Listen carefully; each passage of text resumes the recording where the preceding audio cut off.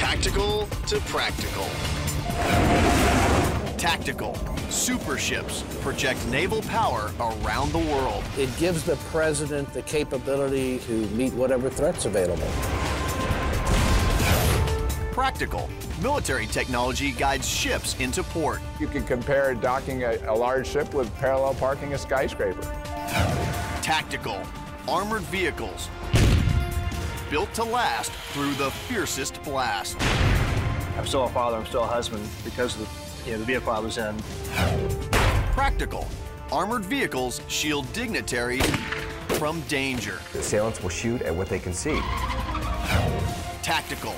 Simulators train fighting forces in a virtual battle. We depend a lot on the simulators for training. Practical. Simulators. Put the weapon down. Police practice getting the bad guys before crime occurs. They fall back in the training they have had in here. Keep your hands up. Tactical to practical. Developed for tactical advantage. Declassified for practical use.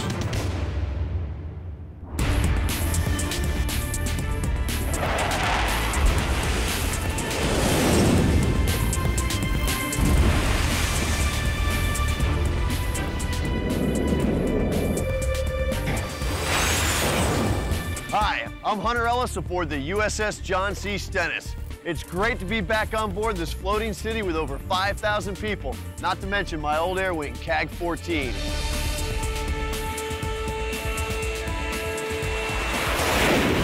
A carrier is a tactical platform that's unmatched. It's the king of the sea. Tactical. Super ships extend naval air power around the world. Carriers will be a dominant player in any future conflict. Practical. Super ships rely on military technology to move the world's cargo. I find it hard to understand how they actually did it before they had radar. The Stennis is one of our newest carriers. Been a busy 10 years, traveling to and providing support for many operations around the globe. The Stennis is heading out again after months of action in the Arabian Sea, supporting American missions in both Afghanistan and Iraq. Her pilots have flown more than 10,000 combat sorties and have delivered 275,000 pounds of ordnance on their targets. The aircraft carrier combines air and sea power into one huge package, and that vision started not long after man first took flight. One of the first methods of launching planes at sea is from a ramp rigged above the gun turret. Some of the early carriers simply strapped flat decks on the top of old merchant ships with the superstructures swept off. In 1922, the USS Langley is retrofitted from a coal-carrying ship to become America's first official aircraft carrier. The Langley helps the U.S. Navy transport its aerial firepower across the world without having to worry about the consent of foreign powers. When the countries of this world decide that they do not want to allow us to operate, that means that we have to have a capability inherent in our Defense Department that allows us to operate unfettered by any restriction that might exist. One fundamental aspect of landing aircraft on a ship at sea has never changed. It's dangerous. There was a tremendous uh, amount of damage done to experimental aircraft and a lot of losses of pilots early on. Carrier landings have always been risky.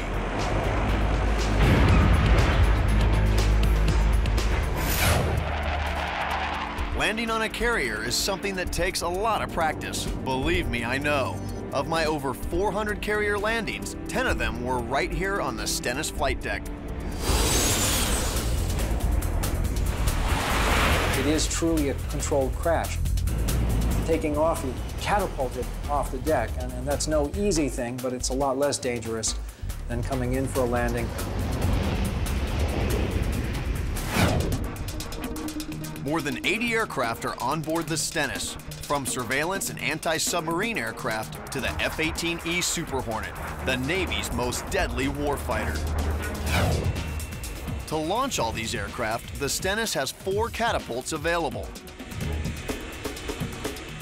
When working at full capacity, planes can be launched into combat every 20 seconds.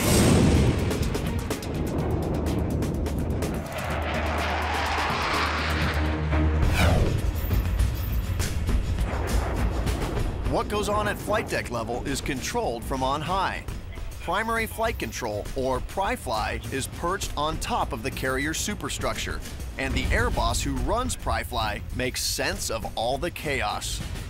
Every 45 seconds, we have somebody showing up at the back end of the boat to land. That's about how long it takes us to go from the plane trapping to deconnecting from the wire, getting clear of the landing area, pull the wire back, and then reset it for whatever type of airplane's left. Landing on a carrier in the daytime is one thing. The night, that's a whole different story. Check it out.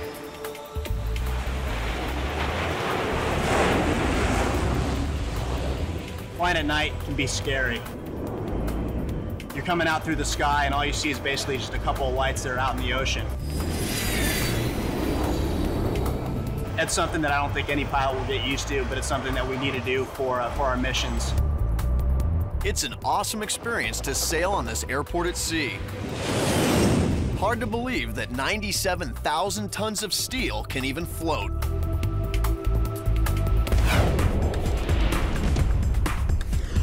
This truly is a city at sea. They have barbers, gyms, and even stores. But this is a warship, and it's worlds away from the comforts you'll find on one of the latest luxury liners. Cruise ships are not only outfitted with luxurious amenities, but also the latest commercial versions of military technologies like radar, GPS, and sonar, necessities at sea that help vessels safely navigate the oceans of the world. Radar helps to see other ships on the water in any weather condition. GPS allows for precise navigation, and sonar is used to measure depth to keep ships from running aground. Perhaps the Titanic would still be around if it had radar to see that iceberg in its path. During World War II, the finest and fastest cruise ship on the seas is the Queen Mary. In 1940, she is stripped of her finery and serves in the Allied war effort, transporting thousands of troops into battle. Her speed and elusiveness earns her the nickname the Gray Ghost. After the war, she continues transporting unarmed passengers in luxurious style until her final voyage in 1967 when she ports in Long Beach, California. She still resides there today and is one of the most popular tourist destinations in the world. A huge part of commercial shipping today are the tremendous tankers that carry billions of barrels of oil to fuel the world's economy and keep the U.S. military moving. Whether sailing on carriers, cruise, or cargo ships, captains rely on satellite weather forecasts to see conditions along their route. We can actually predict not just one hour in advance of where the ship's going to be, 10 days in advance. So instead of making tactical decisions about uh, direction or heading that he would go on, he's able to now use a greater amount of information to make strategic decisions on the route. At sea, radar is used to locate ships and obstacles through darkness and foul weather. But when ships get close to port, they ultimately rely on human navigation. Ease to 10. Harbor pilots are known as bar pilots in the San Francisco Bay Area. They board and take the helm of large ships to guide them into port. San Francisco Bay is California's greatest natural harbor and the West Coast's most challenging waters. It's the job of the San Francisco bar pilots to know every inch of the bay. As if steering a huge ship into port wasn't challenging enough, just wait until you see how they get to work. Captain Nancy Wagner spends nine years at sea as a deck officer before becoming the first female bar pilot on the San Francisco Bay. When I get my call, two miles, showtime, you're on. There can be swells, 10, 15 feet. It can get pretty nasty out here. Bar pilots need to make a sometimes harrowing leap from the pilot boat to the ship's ladder, while both vessels are underway, often in rough seas. A missed step could be deadly. 12 miles off the coast of San Francisco, or the approximate coordinates of 38 degrees north latitude and 123 degrees west longitude, there's a buoy where the bar pilots rendezvous with the big ships. Thanks to GPS, meeting up is a snap. This is the actual GPS unit. It tells us exactly where we are every time, no matter what the weather is. Satellite sends a signal down to this unit from several satellites. Liberty. Oh, Liberty. Osmond Jevik's life is on the water. He begins his ocean-going career nearly 50 years ago, shipping out on a Norwegian freighter when he's just 16 years old. Piloting is more, you gotta know where the land is and you gotta have a, a really good idea where the ship is in relation to the land. But the GPS, of course, has made that so much easier.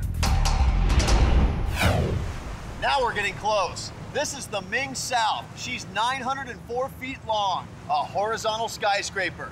All we gotta do is climb aboard. Ocean-going vessels are constantly challenged by Mother Nature, from killer storms to treacherous coastal waters. Military technologies like GPS and radar help ships stay on course. I'm on board one of the pilot boats belonging to the San Francisco Bar Pilots. These guys are also using radar technology to accomplish their mission of safely guiding civilian vessels into harbor. This technology takes a lot of the guesswork out of their job, especially in bad weather and at night. Ming South, this is the pilot boat California, channel 13. So right now we're in a 12 mile scale with two nautical mile rings, right? This shows our position here in the middle. And this is the coastline. You can see it's dipping back here toward the Golden Gate Bridge. So how has radar helped the job of the bar pilots? Funny, hard to understand how they actually did it before they had radar. I guess in the old days when it was foggy, ships didn't come in. But now they go day and night, fog or no fog, it doesn't matter. Just getting to these boats can be quite a challenge. Now we gotta climb on board. Getting on board was a little trickier than I thought, but the bar pilots make it look easy. Once on board, though, the hard work really begins. I'm just watching everything line up and how the ship is going to react once I give her some rudder here. Port 20. Port 20. Port 20.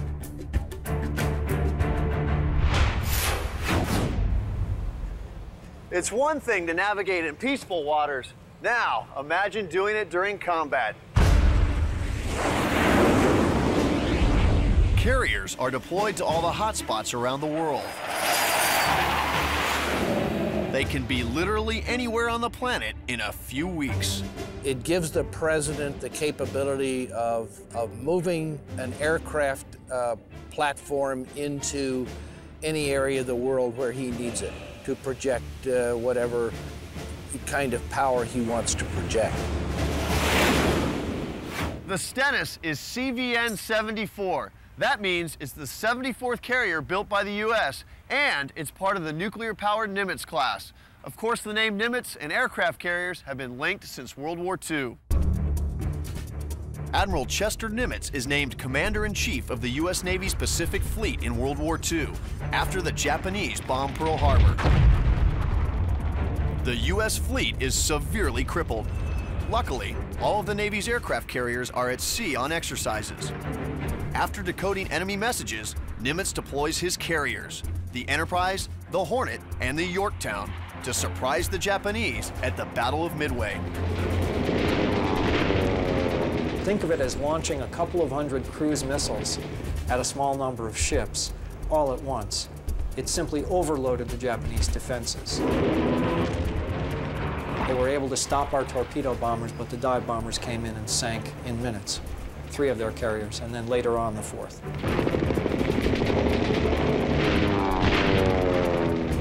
The Battle of Midway turns the tide in the Pacific. After this key victory, the U.S. Navy and its fleet of aircraft carriers rule supreme. And to remain supreme, today's carriers come with a posse, the Carrier Battle Group.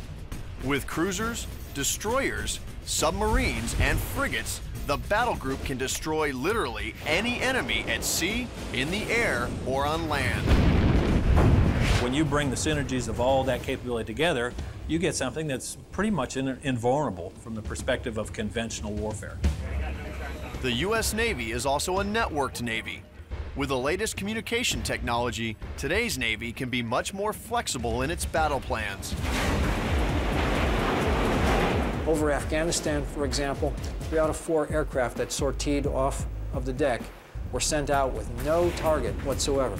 Their job was to hook up with the Special Forces network in the field in Afghanistan, and they would then decide together what they'd be attacking. The next generation of aircraft carriers will be the nuclear-powered CVX class.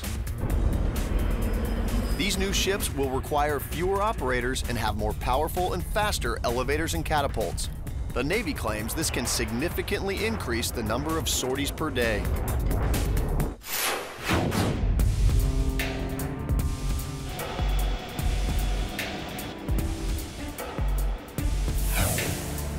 We're docking the Ming South here in the Port of Oakland.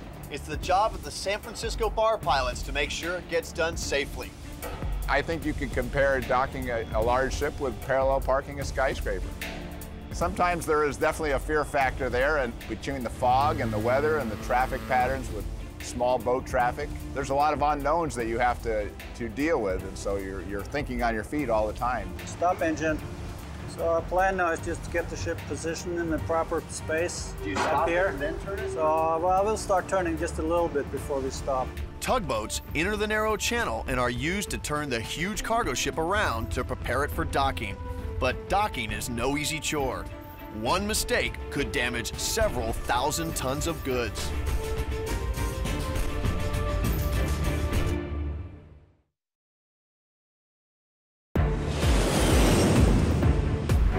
U.S. military travels the oceans, projecting naval and aerial firepower around the world. The world's largest civilian ships move the goods of the globe. Even in open water, navigation can be a challenge. The San Francisco bar pilots steer thousands of huge ships through the dangerous Golden Gate every year. One slip up could be disastrous. A ship captain can cross thousands of miles at sea on a typical voyage. But the most challenging part of the journey is the last few feet. You could be bringing a mass of, say, in the neighborhood of 100,000 tons along alongside a fixed object, and uh, you know that's a lot of momentum, a lot of inertia to overcome. It doesn't take much to go wrong before you could have damage. Dead slow astern.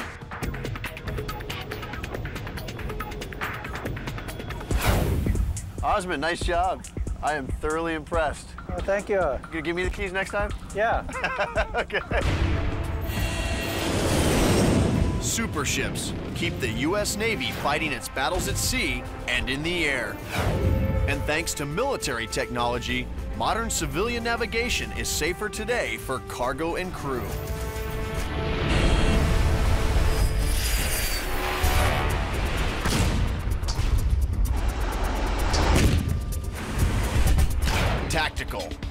Military armored vehicles protect warfighters under fire. It's almost awe-inspiring on how much blast we took, and everybody walked away. Practical. Civilian armored cars.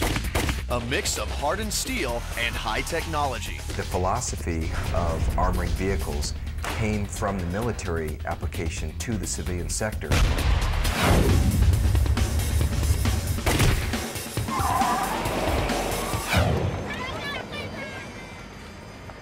January 2003.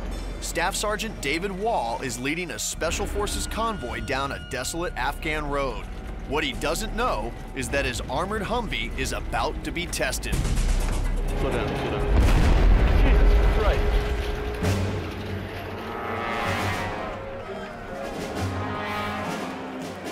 Two separate explosions rock the vehicles. This one, caught on tape, is only a partial detonation. A blast 30 times more powerful goes off under the Humvee Sergeant Wall is riding in.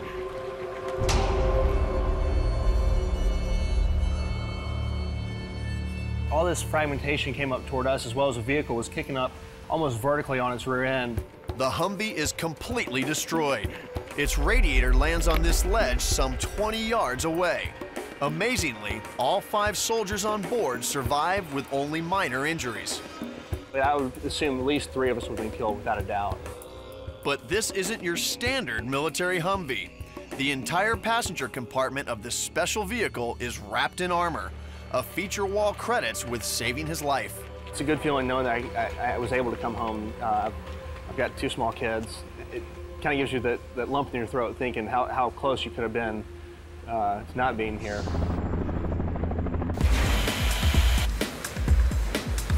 These life-saving Humvees roll out of the O'Gara, Hess, and Eisenhardt's Ohio factory at a rate of more than 60 a month.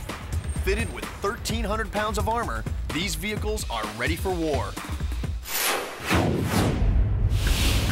But this same company also builds civilian armored cars, a combination of hardened steel and high-tech ballistic materials that offers the ultimate in personal protection. This Lincoln Town Car may look like your standard luxury limo, but the elegant exterior hides an armored inner shell that can stop a 44 Magnum. Modern day fear of everything from domestic terrorism to random acts of violence is driving a booming market for civilian armored cars. But armored vehicles have been proving their mettle on the battlefield since the early days of World War I.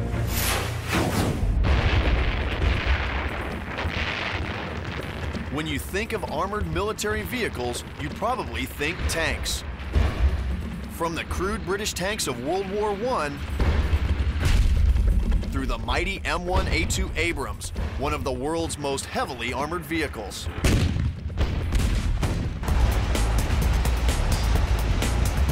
But a new generation of lightweight armored vehicles is offering troops some level of ballistic protection, but is still light enough for rapid deployment from a C-130.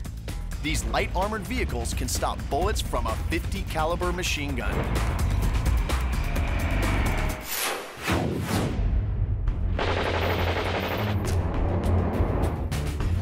Banks and bad guys see the practical advantages of vehicle armor. By the early 1920s, steel-plated delivery trucks are used to carry cash, giving banks a fighting chance against would-be robbers. And for 1930s outlaw Al Capone, a bulletproof Cadillac helps guard against occupational hazards.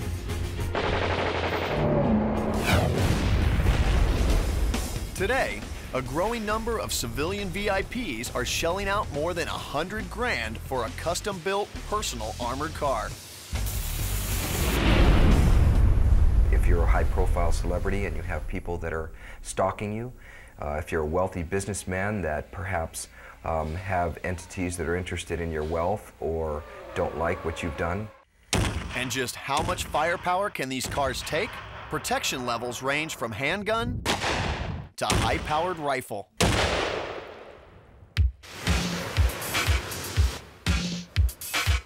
So how do you turn a standard SUV into a mobile armored fortress? First, strip the vehicle down to bare metal. Then, add a bullet-tight inner skin of hardened steel and composite fiber armor. For maximum protection, armor placement is critical. For example, this ballistic steel overlap is used to shield the area where the window glass meets the door frame. But a well-armored vehicle is a compromise between ballistic protection and vehicle performance. Too much armor can increase a car's weight by more than a ton. If you overburden your vehicle with too much weight, you can compromise your ability to escape. A builder of bullet-stopping civilian cars since 1942, O'Gara, Hess, and Eisenhardt knows the formula well. Maximize ballistic protection, minimize vehicle weight. They say much of their civilian armored car technology goes into these military armored Humvees.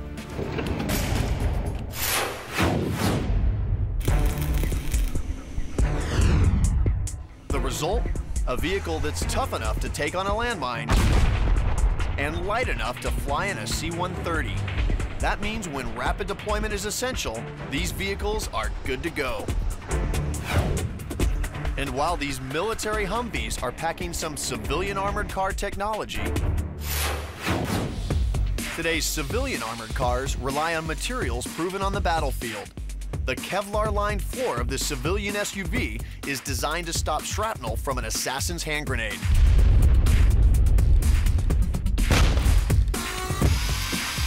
Today, civilian armored cars are proving an even newer generation of high-tech ballistic protection materials. This Twaron fabric stops a 44 Magnum. Even tougher, this ballistic steel and Spectra fiber composite can take on an AK-47. Two, three. Probably the most important part of the armoring package is the transparent armor because assailants will shoot at what they can see. So they're going to shoot at you through the glass. In the windows of this SUV are more than an inch of glass, acrylic, and polycarbonate layers. Here's a piece of rifle level protection glass. Whoa! How much does this weigh? This weighs uh, between 60 and 70 pounds. Oh my God. Now, let's see if this transparent armor can stand up to the firepower of an M16.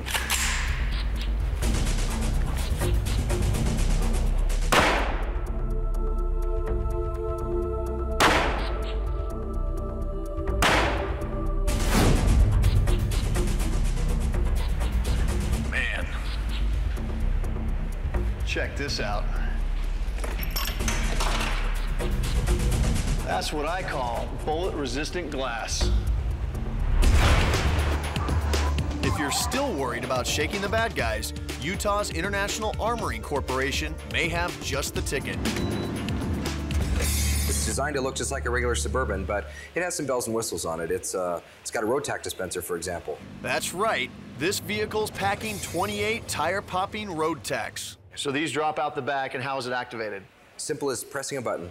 On the dash, you press a button, and these will drop out the back and slice open tires. Exactly. Can we test it out? Sure, we can make that happen. All right, let's give it a shot.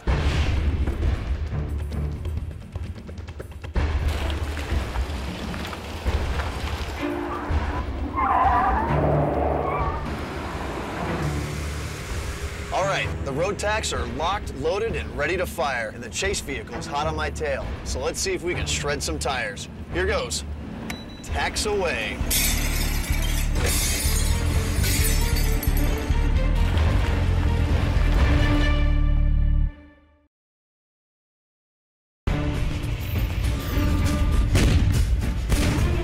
A technology born on the battlefields of World War I, armored vehicles protect soldiers under fire and help civilian VIPs escape an assassin's bullet. This armored SUV is packing a secret weapon. At the flick of a switch, I can drop 28 razor-sharp road tacks. Can they stop a determined chase vehicle? There's only one way to find out.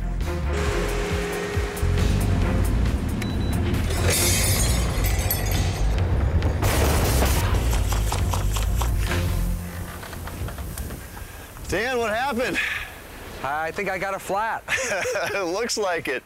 The tacks only got one tire, but that might be just enough to slow a chasing vehicle. Now, the road tacks may not be for everyone, but it looks like armored cars might be going mainstream. Lincoln and Cadillac say armored versions of their luxury sedans will be in dealerships by mid 2004. It's a statement that the demand for one is not only increasing, but it's not going to go away. Tactical, military mobile armor, battlefield heavyweights that take on the enemy's best shot. And a new generation of vehicles with the light weight to get troops quickly into a war zone and the tough skin that can get them back home alive. Practical, civilian armored cars. Average looks, hide a tough as nails inner shell. They're built to stop a killer's bullet and leave would-be assassins in the dust.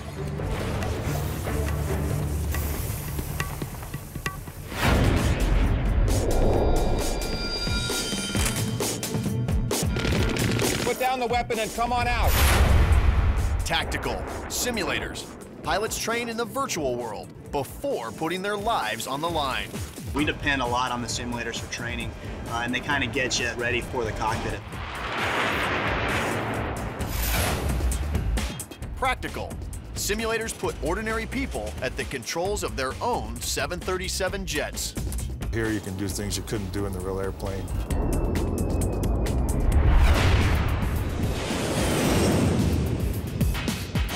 When most people think of simulators, they think of something like this. But pilots need to learn more than just how to fly. They also need to know what to do when something goes wrong. When I went through ejection seat training with the Navy, we'd learn the basics and pray that we would never have to use it. But now, there's new technology that actually allows pilots to see what they might be facing. You remember the drill. This is the Navy's new virtual reality parachute simulator. To experience just how it works, I was handed a set of VR goggles, and soon I was seeing the world from 4,000 feet above the ground, virtually. See if I can steer this baby a little bit. Right. Remember, this isn't a sport parachute. You want to watch your body position on this. Make sure you don't turn sideways. When you turn sideways into the wind, you'll start swinging a little bit. Man, this is light years ahead of what we had. Wow, this is cool. Eyes on the horizon, elbows in, up on your risers, feet and knees together. Whoosh, there we go. On the deck. Safe and sound, yes. One piece, that's all that matters. Pilots can get virtual in almost every aspect of flight training. Believe it or not, it's something the military has been doing for more than 70 years. 1931. The birth of the modern day military simulator arrives when Edwin Link designs and patents the pilot trainer. The machine is later coined the Link Trainer, and thousands of US and British airmen used them during World War II. The basic goal of those early trainers was to get you used to flying by instruments and flying by some feel, because they'd have some mechanics in it, so it would tilt you the right way as you moved. But it isn't until the PC revolution kicks into high gear in the early 80s that the military starts using simulations as tactical training tools. One of their partners in this endeavor is the video game industry. The defense guys had the technology and they could build you nice, okay graphics, but it wasn't very immersive. And what I mean by immersive is that it didn't grab you and make you believe you're, you're in this particular engagement. It was really the gaming industry that was, was making that happen. Still, the limited graphics power makes these military simulators less than perfect. It will take another 10 years before the graphics technology is advanced enough to make simulations realistic. A lot of times the old technology in flight simulation was animation, creating fake hills, fake plants, fake trees, what have you, and then flying through the, the hillsides. 1993, software maker Microsoft releases Flight Simulator 5.0 for civilian use, arming weekend warriors with a new sim that incorporates photorealistic and satellite imagery for its graphics. Today, thousands of gamers play the popular sim, but some are taking it to the extreme. Meet James Price. Check out his simulator, a fully loaded Boeing 737 cockpit wired with a working instrument panel and the latest flight simulator software projected onto a giant video screen. The sim is powered by a Pentium 4 processor, and the software interfaces directly with the jet's steering, gauges, and switches. Hey, clear for takeoff. 80 knots. V1, rotate. Positive ready to climb, gear up. Price stores it in his California airport hangar. This is the ultimate SimFreak simulator. His cost to build it? A cool 60,000 bucks, but a bargain compared to the airline's million dollar simulators. I've flown in the uh, full motion multi-million dollar simulators enough to know that this is pretty close. Price has been flying for 20 years and loves every minute of it. But it's the action inside his simulator that really gets his heartbeat racing. It's very, very exhilarating because you've got the sound, you've got the motion, you've got the visuals. Turn back to the airport now and do a landing. You've got the interaction with the controls. Flaps up, final, gear down. So there's a lot of dynamics going on in it really makes it fun to sit down and actually fly it as if it were a real airline flight from gate to gate.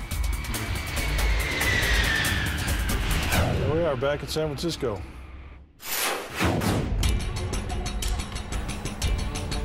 I'm at the MOVES Institute at the Naval Postgraduate School in Monterey, California. MOVES stands for Modeling of Virtual Environment Simulations. These are the guys that specialize in providing the new training technologies to the military. We work in networked virtual environments. How do you use game engines? How do you do web-based 3D? So we work very much in that arena.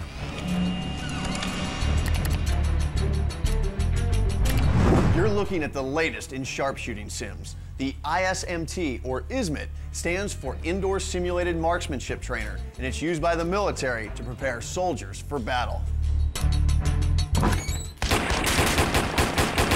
How does this compare to the real thing? I mean, what is this training scenario like? The ISMIT is first and foremost a technical trainer. It teaches operation of the weapon.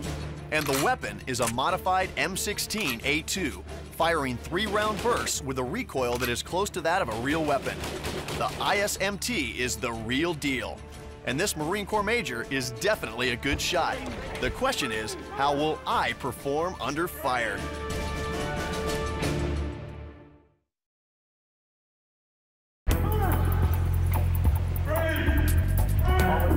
Simulators prepare the military before they get on the battlefield. And train law enforcement officers for split-second decision-making in times of crisis. Put your hands up.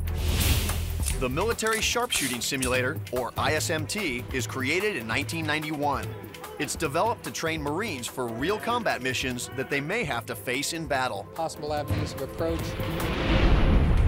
All right, I may be an aviator, but I fired a weapon before, so uh, you ready to uh, whip up on me a bit? Sure. All right, let's bring it on.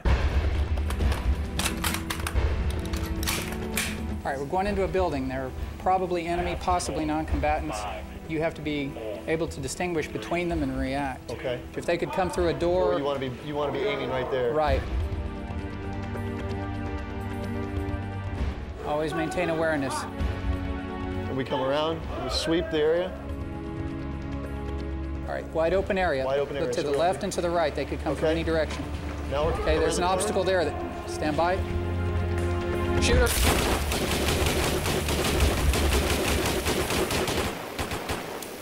Yeah, I mean they just jump up out of nowhere. That's wild. Exactly. While the ISMT is a surefire hit for the military, sharpshooting sims are also being used extensively by police officers. At the San Francisco Police Academy, recruits and officers prepare on the Firearms Training System, otherwise known as FATS. Here's the scenario. Jim Petrie is working the day watch. He is a one-man unit. He takes the call from dispatch that there's an unstable citizen with a gun. Get the hell out of here! Put the weapon down.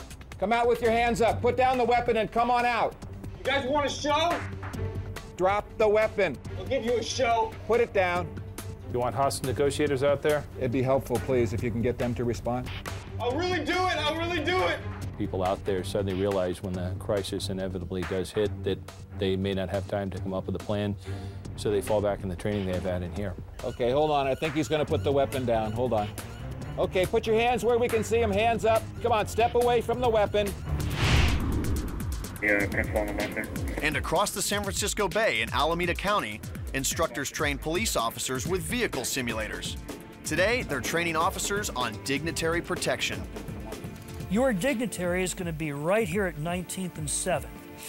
As you approach there, you're going to see a person standing on the sidewalk, and that, that's the person we want you to pick up. Officers must act fast and decisively to save the diplomat from being harmed. Got someone behind you. Hey, what's going on? Whoa, Gary, go. Hey, what's going on here? Just sit back. What's going on? It enables you to, to practice what you should be doing on the street. Just hold on. We'll be okay. In this case, their opponent, otherwise known as the Rabbit, is able to take out the police and kill the driver and official. Luckily for this officer, it's just a simulator. Oh! We're dead.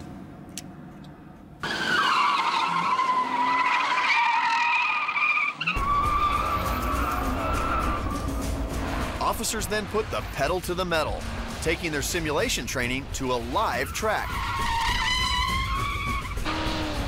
We practice skills out here, we marry it with decision making in there. And what you end up having is a highly trained driver that knows what their abilities are, knows the extent of, uh, of their abilities, those of the vehicle, and the road that they're uh, driving on.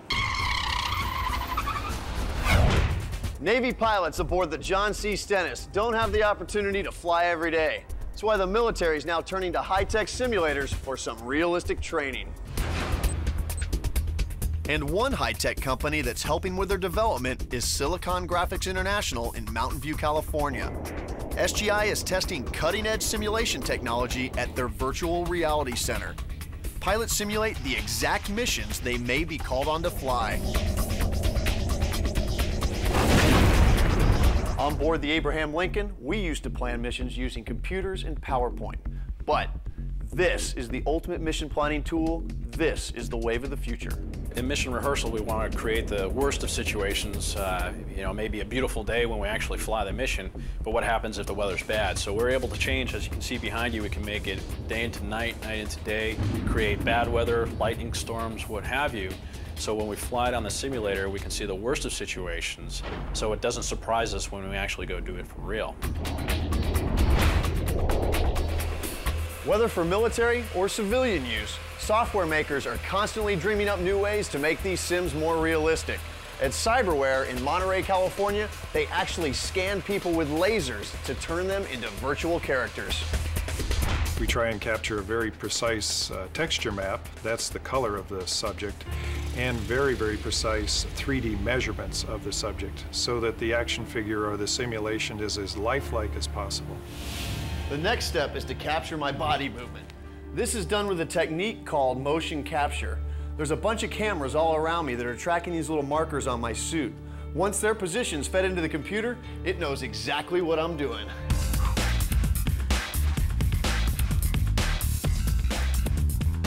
Motion capture is now widely used throughout the video game industry to make computer simulations more realistic. Video game maker Electronic Arts uses full teams of players to make its sports sims more accurate.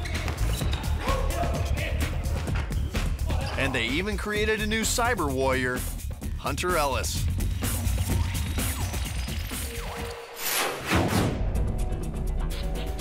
U.S. troops in Iraq are faced with the task of keeping the peace in an unfamiliar country. Back at the MOVES Institute, researchers are creating less action-oriented sims, but sims that are still essential for saving lives. This is their 3D Online Mentors program, a language sim for soldiers in Iraq, so they can learn to better communicate before stepping on foreign soil. Assalamu alaikum. Wa alaikum assalam. We can take a virtual model of, uh, of Baghdad and say, this is exactly where you're going you're going to be manning this checkpoint, and this is the kind of interaction you'll probably have. Here's the list of words you might want to know, and then let's go into this 3D world and try them out. Simulators prepare the military for combat mentally and physically. Shooter. Simulators make police officers better able to protect and serve on civilian streets. really do it. Simulators, tactical to practical. Oh, ready to climb, gear up.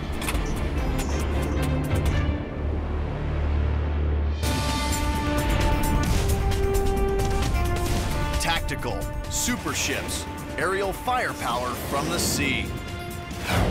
Practical, super ships, mammoth cargo carriers steer clear in tight spots. Tactical, armored vehicles, virtually unstoppable on tracks or tires. Practical, armored vehicles, high-tech protection for high-profile civilians. Tactical, simulators, pilots trained for dangerous maneuvers in virtual safety. Practical, simulators, ultimate sims give gamers electronic wings. Tactical to practical, technology moving from government deployment to everyone's enjoyment.